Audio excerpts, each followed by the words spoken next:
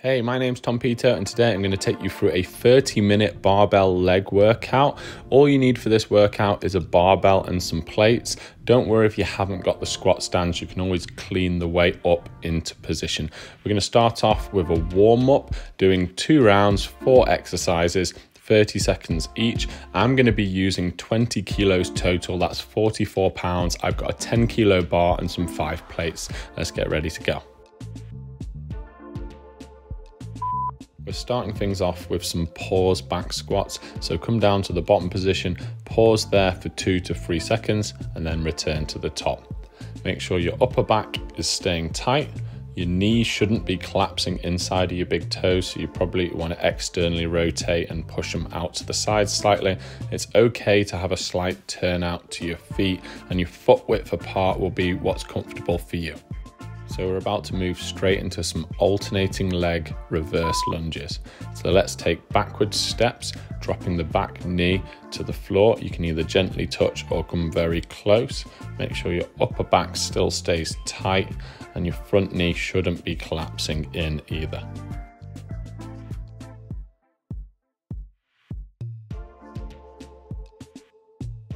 After this, you'll need to either re-rack the bar or just put it on the floor and we're going to do some body weight alternating lateral lunges.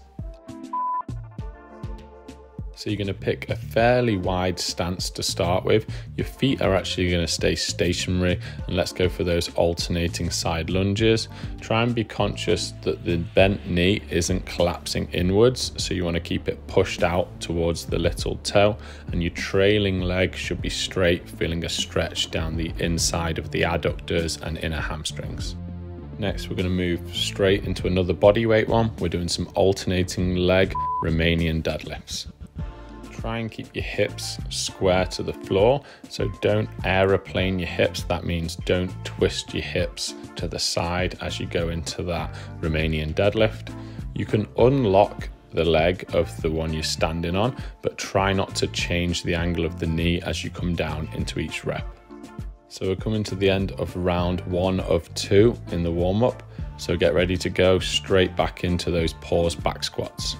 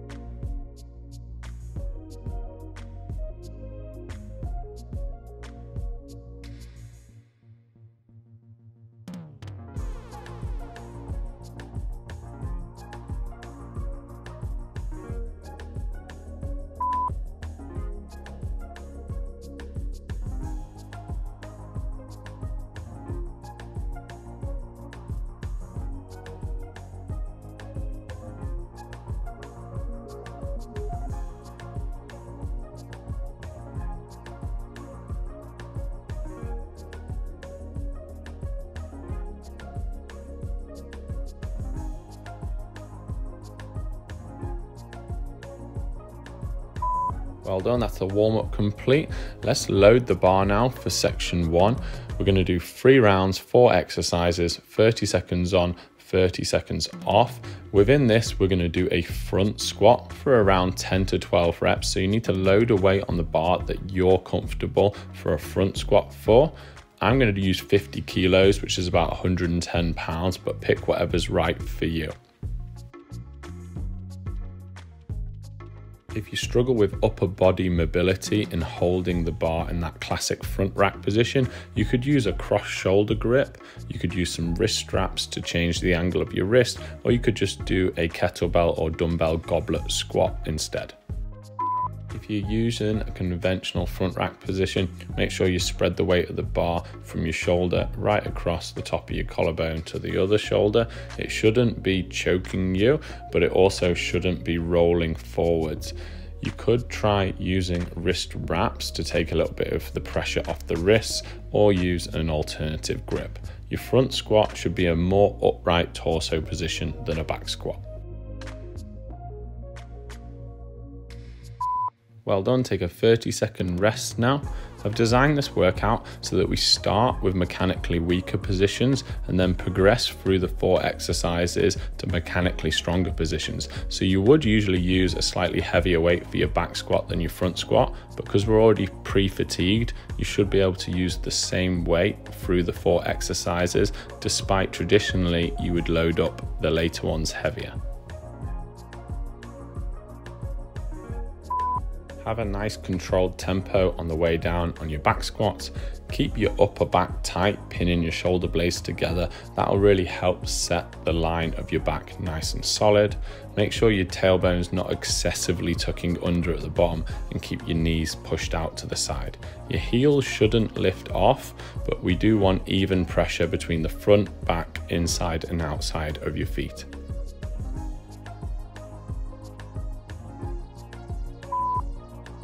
Well done, take another 30 second break. So we've done two squat exercises. Now we're gonna move on to two deadlift variations. We're gonna start off with a sumo deadlift. So that's gonna be a wide stance deadlift. That'll emphasize the glutes slightly more than your conventional deadlift.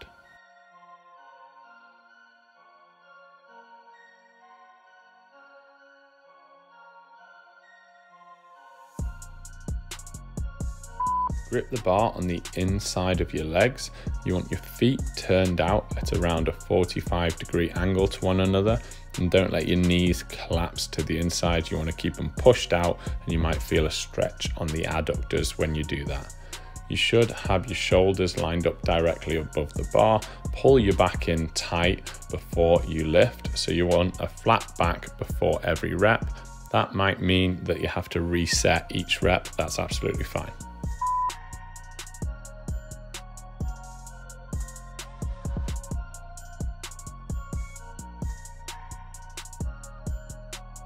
Next, we're gonna move onto a conventional deadlift.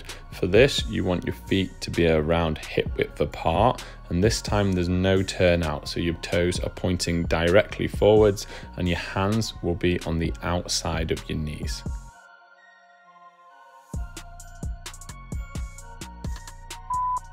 Again, make sure your back's flat before you lift off the floor.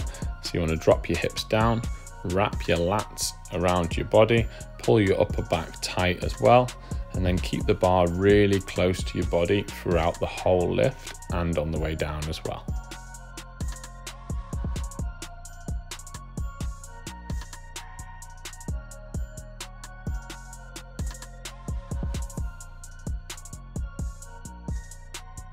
Great job. There's round one of three done in this first section of the workout. We've got a 45 second break now. If you found that first round a little bit too challenging, then just take a little bit of weight off the bar. And if you found it too easy, maybe load a little bit extra on.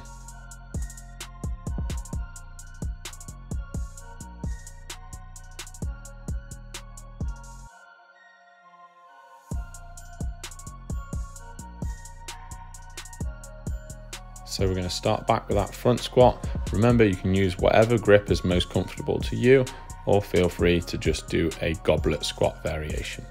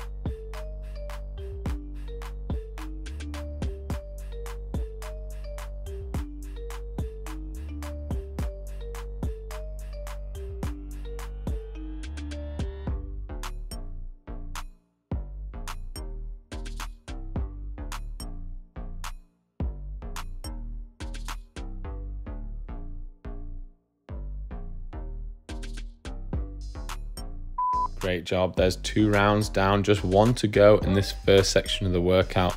After this, we'll be lowering the weight on the bar and moving to four new exercises. Again, as I said before, if you need to lower the weight now or increase it slightly to get the weight just right for you for this first section, feel free to do that now. If not, just take a short break.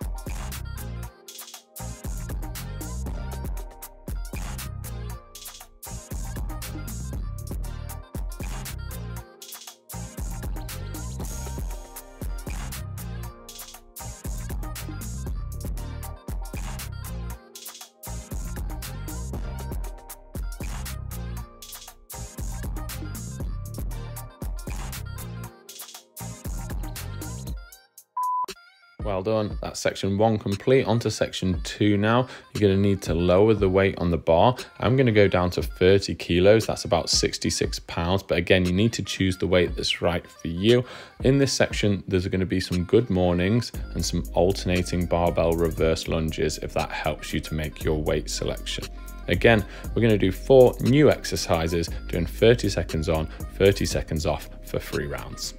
This is the final workout in my seven day barbell series. But if you've been on the series for a while, let's say you've been repeating that series for four to six weeks already and you fancy trying something new, check out my 12 week barbell plan ebook, which I've linked in the description of this video once you finish the workout.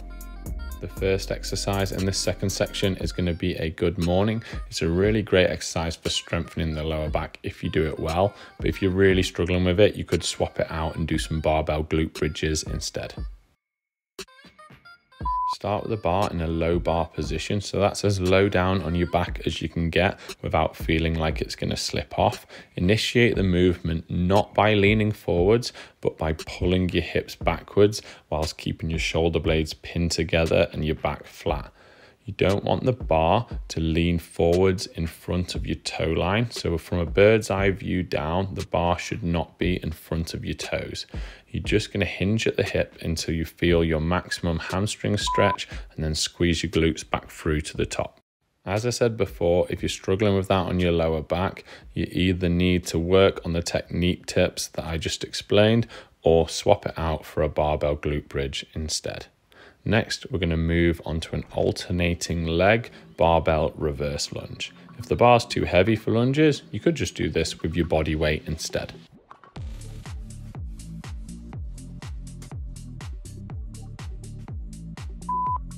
Just like in your warm up, take alternating backward steps, making sure the front knee doesn't collapse in towards the big toe, keeping your upper back tight. And if you've got the shoulder mobility, it's good to have your elbows directly underneath the bar.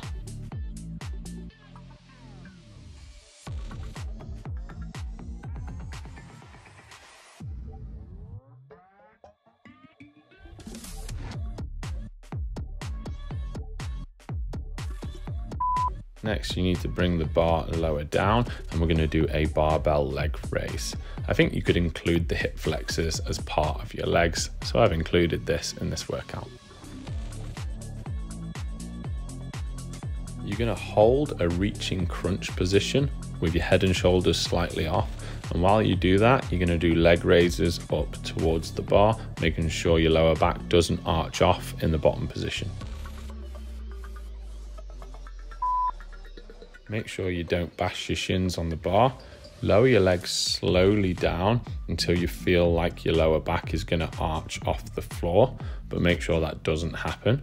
And when you do a leg raise up to the top, I want your tailbone to slightly rock off the floor. The whole time you're maintaining that reaching crunch position with your upper abs. Your head and shoulders are just slightly off the mats.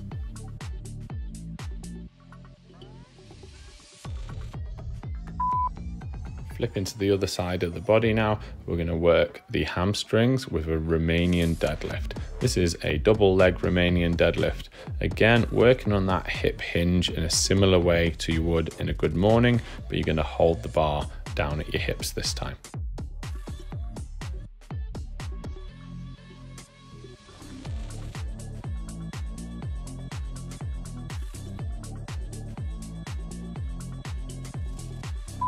Can unlock your knees slightly, but that knee angle should stay fixed as you come down into the rep.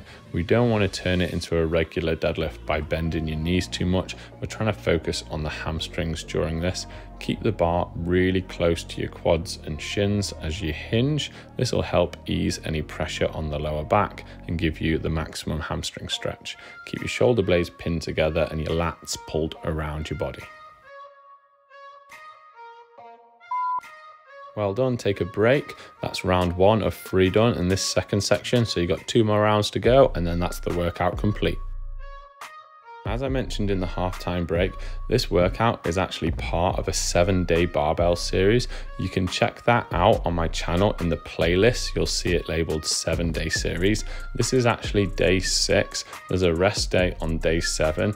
But if you're not already on the series, you could just start straight away with day one. It's an upper body workout. So check out either the link in the description below of this video or check out the playlist on my channel.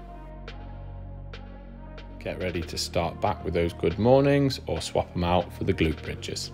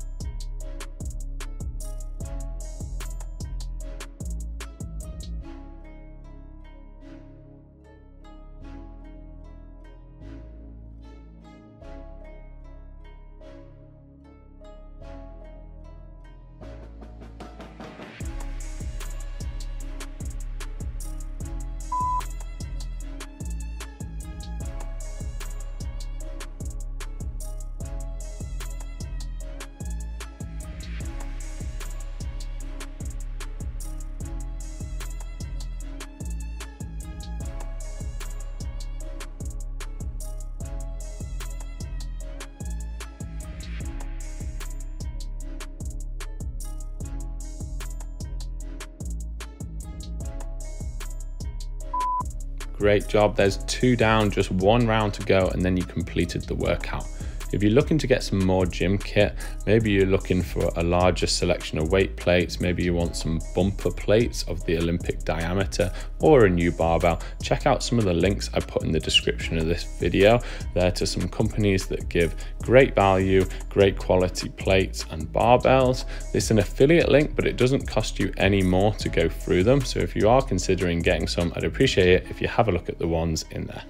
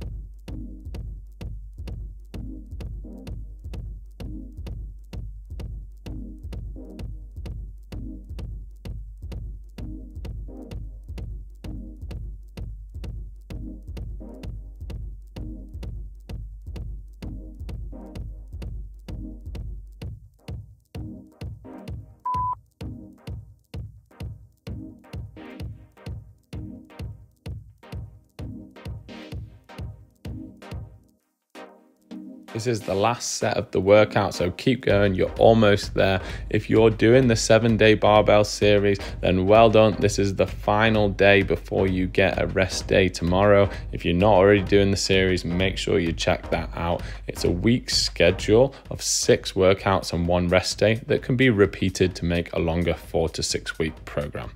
If you've enjoyed the workout, let me know in the comments below and let me know where in the world are you doing these workouts from. I always love to hear that. Make sure you're subscribed, give the video a thumbs up if you enjoyed it, and see you again soon for another video.